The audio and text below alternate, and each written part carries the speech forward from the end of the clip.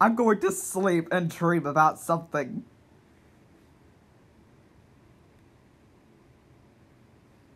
What the beautiful day it is in the book.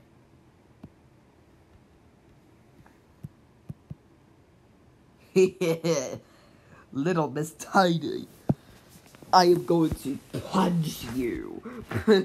oh no! That's a scary dragon or, or a zombie. How in the world does this happen? Ugh. Ugh. Ugh. Thank goodness it's all just a dream. Richard Epcar.